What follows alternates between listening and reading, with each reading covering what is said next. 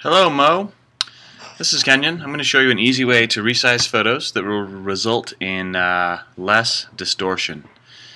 Now I realize some of the photos are too small, but if they're close to being big enough they will still work and be a little blurry. If they're way too small, just don't use them. But I'm going to start off by doing the 1050 by 324 hero images and the same concept can apply to the gallery image dimensions as well very easily. So I have Photoshop open, as you can see. So what I'm going to do is click File, and then New, and I'm going to set up uh, a blank file with the dimensions that we want, 1050 by 324.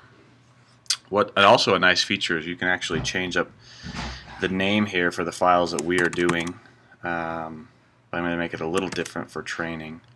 Um, but it would be something like what? Home or uh, deals hero March March 2013. You've been doing that, I believe, and I'm going to put training because I already have the file names. I have to make it different. So 1050 by 324. 72 resolution is fine. Um, over here on bit, you want to change that to 8. Otherwise, later you will not be able to save as a JPEG. If you leave it on 32-bit, JPEG is not an option when you save.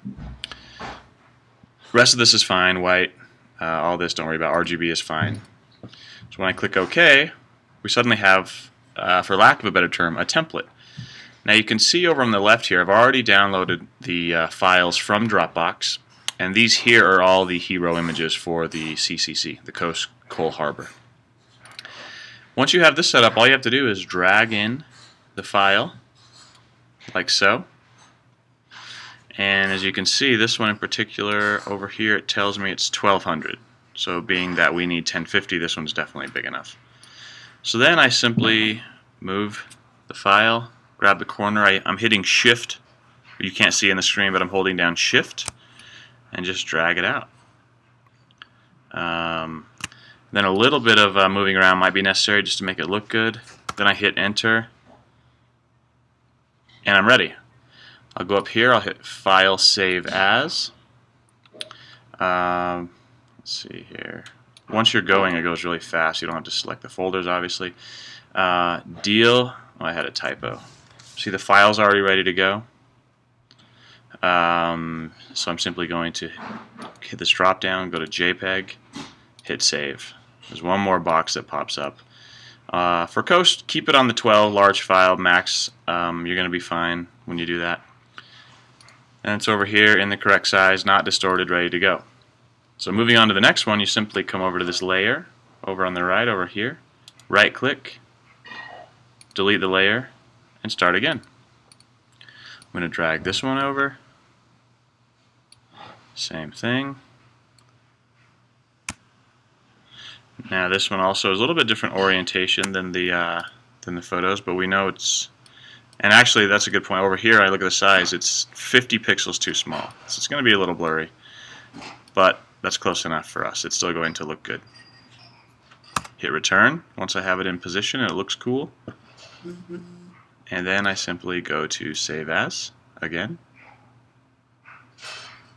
And this one I would change because it's a new page, so I would just change to, let's say, rooms, or whatever it is, whatever it needs to be. Uh, again, drop this down to JPEG, save, high quality, done.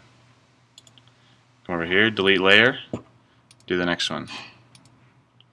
Uh, pick uh, Ecos, that one's big. So this one, I move it over, shift, drag, uh, it's fine. Return. Uh, and then save as as a JPEG. See, I've done three in in just a few seconds, so it goes pretty fast. Um, and this one is eco, so I would change the file name for my own benefit. Hit save, high quality, and that one's done. Delete, and go to the next one. Um, this also works for the gallery photos. I'm going to do it one more time for everybody's benefit. Click New, The gallery photos are a different dimension. They are 948 by 631. So 948, 631. I'm going to change this one to uh, uh, CCC gallery. Actually, what did I do it before? CCC. I have them numbered, so I know which order they go in the gallery. So the numbering, I go top to bottom, left to right from the Excel sheet. So this one would be 1. I forgot the underscore, but you guys know how to do that. March 2013. Then each time I save it, I will only have to change this number. So 948 by 631, 72, 8-bit, everything is good. Hit OK. And now we have this template. So again, you start dragging them in.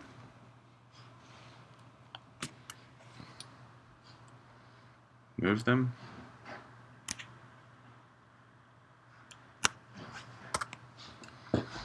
I hit enter off screen and it's done. One thing, uh, a command you guys may or not be familiar with though, if you need to reposition it, um, the best way is if you're on a PC, Control T, if you're on a Mac, Command T. So I'm going to do Command T and it gives you this uh, free transform function. So if you wanted to move it up or if you, sometimes you don't hit shift in time, you mess it up like that. If you ever need uh, to do the free transform, it's Command or Control T. But again, hit return. Once we like it, it's ready to save. Save as, have my file name. I would put it in, uh, I should put, I'm going to put a T for training because I already have these file names. Um, I forget, once in a while I forget this, but I always select JPEG. Save it, max quality, done, delete and you would drag in. I'm going to do one more example and I'm done if everyone's wondering how long I'm going to talk.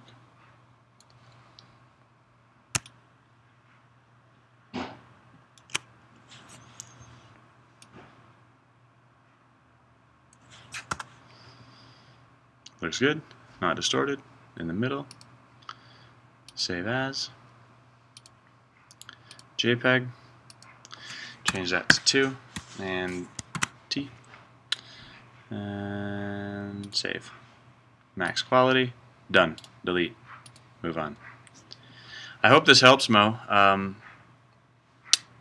I'm going to send this along, and obviously I'll hear from you if uh, you have further questions. Thank you very much.